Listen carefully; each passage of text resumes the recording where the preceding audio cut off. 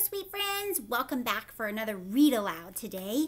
We are going to read Smelly Socks. This is another Robert Munsch book who did Mortimer and which other one did we read? I always have a hard time remembering that one. Um, uh, several other ones that we've read. Goodness gracious, I'm drawing a blank this morning. Anyways, so Robert Munsch and Michael Martchenko did the pictures in this one as well. Um, and if you look at the front picture, look at the girl. Do you see the smell coming off of her socks? Do you have a thought about why this book is called Smelly Socks? Let's see if you're right. Here we go. Smelly Socks. When Tina wanted new socks, her mom took her to the only store in town. This store only has black socks, said Tina. Can we please go across the river and get some really good socks? We can't drive right across the river because there is no bridge there, said, T- said Tina's mom. You know it's a long, long, long way to the only bridge. And besides, we don't even have a car.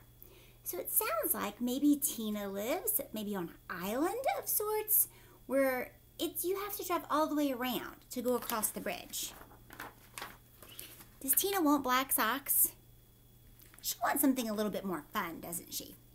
So Tina went to find her grandfather and said, Can you please take me across the river in your boat? I want to buy some really good socks. The motor is not working on the boat, said her grandfather. Row, said Tina. We can row. I will row, and you can sit in the back of the boat. You will row, said her grandfather. Yes, said Tina. Rowing is easy. So look, do you see what her grandfather did? He makes statues using a chainsaw out of wood. How cool is that? Now, Tina says that she will row the boat. She claims that rowing is easy. If it was that easy, don't you think her mom would have taken her in a boat? Let's find out. So Tina got in the boat and rowed slowly. Splash, splash, splash. And the boat went in slow circles. Swish, swish, swish. Tina rowed fast. Splash, splash, splash, splash, splash. And the boat went in fast circles. Swish, swish, swish, swish, swish. This boat has forgotten how to row, said Tina. Now, did the boat forget how to row? Or is it Tina's rowing? So she just kind of is going in circles. Is she getting anywhere? Not really. You sit in the back and tell me what to do, said her grandfather. So Tina sat in the back and told her grandfather how to row, and her grandfather rowed all the way across the river. Then they walked all the way through the town to the big sock store. So look, if you look right there, you see her pointing like the captain? Now look right here. Let me see if I can get it close. Do you see that giant store with a sock on it? I bet that's where they're headed. See what happens. At the store, Tina tried on socks that were too big, socks that were too little, socks that were too blue, and socks that were too pink. Tina tried on millions and millions of socks. Finally, she found the perfect pair of red, yellow, and green socks. Then, since it was almost time for dinner, Tina and her grandfather ran back to the boat. And this time the boat sort of remembered how to row. Tina rowed round and round and round and still got to the other side. So Tina rowed on the way home. Look at that pile of socks. She tried on all those socks. Do you see the ones on her feet? Are they red, green, and yellow? I think that's the pair she got. When they got back, Tina ran home and yelled, Socks! Wonderful socks!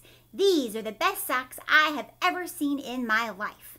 Grandpa rowed me all the way across the river to get these socks, and I am never going to take them off. Never? said Tina's mother. Never, said Tina. Uh oh, said Tina's mother. So look. Now, she said never. Do you know what that means, right?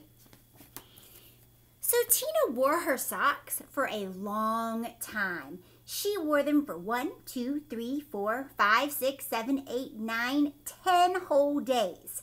Her mother said, Tina, I know you love these socks. Just let me wash them for you really quick. They will start to smell if you don't get them washed. Socks, socks, wonderful socks, said Tina. I am never, never going to take them off. After Tina wore her socks for 10 more days, the kids at school said, Ooh, Tina, what a smell. Change your socks. Socks, wonderful socks, said Tina. I am never, never, never, never, never going to take them off. So 10 days plus 10 more days. How long has she been wearing these socks? If you said 20, you are right.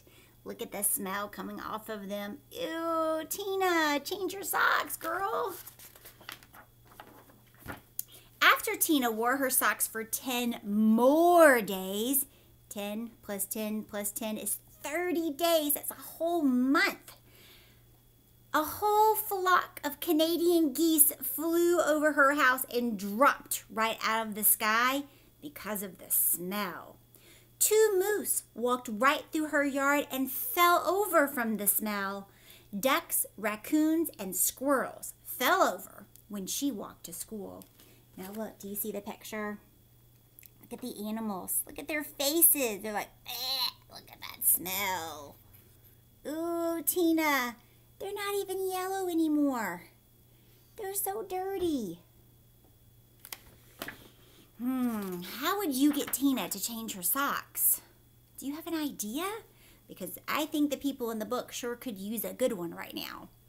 She refuses. She did say never she was going to take off her socks.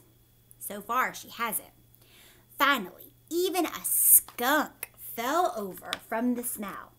Tina's friends decided to do something. They all came to her house and knocked on the door. Blam, blam, blam, blam, blam. When Tina opened the door, they grabbed her and carried her to the river. Then they held their noses and took off her socks. Look at Tina. Look, her socks are black. Ooh. Do you see how they all have things covering their noses? gas mask, band-aids, goggles are covering their eyes. Look, looks like this boy has a box of soap. What do you think her friends are going to do to her socks? Do you think if you wash them now, you could ever get them clean? See what happens. Some of the kids held Tina and scrubbed, and some of the kids washed her socks. Scrub, scrub, scrub, scrub, scrub, scrub, scrub. All the fish in the river floated up to the top and acted like they were dead because it was so stinky. Look, look at all the dirt in the water from them washing the socks. Do you see the fish trying to get away? They're like, oh no, the stink, the dirt.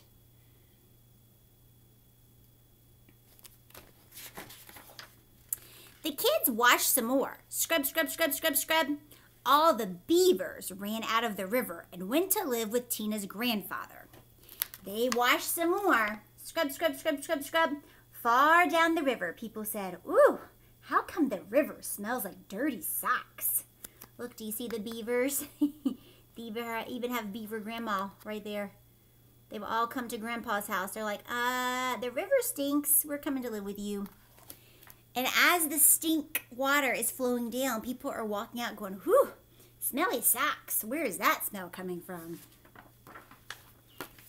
Finally, the socks were clean. Can you believe it? They cleaned those nasty, dirty socks. Wow, said Tina. They look way nicer when they are clean. Wow, said Tina. They smell nicer when they are clean.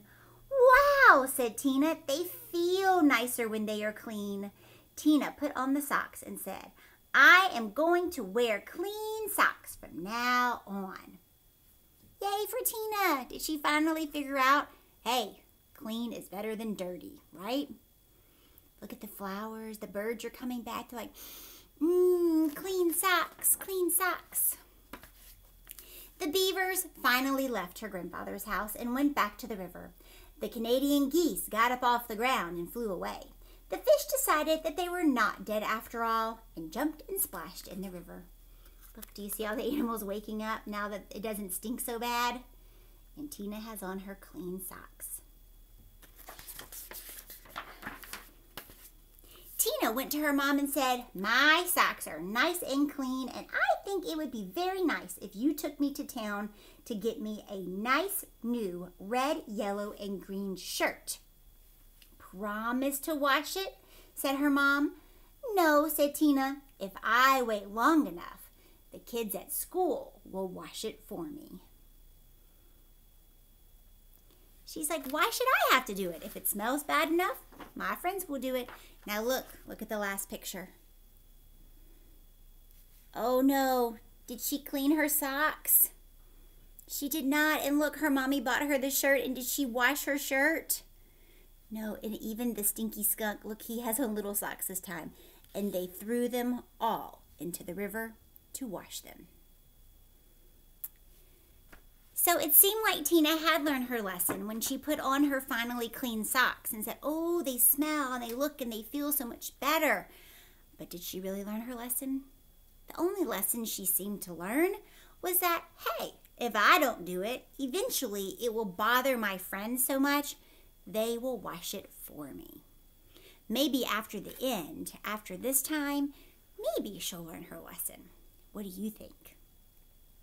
I hoped you enjoyed our story, Smelly Socks. Find someone in your house today that did not listen to the story and tell them about Tina, her adventure getting these very cool socks, and then what she decided to never do. All right, friends, I hope that you join me next time for another story, and I wish you a very happy day. Be kind to each other. Bye.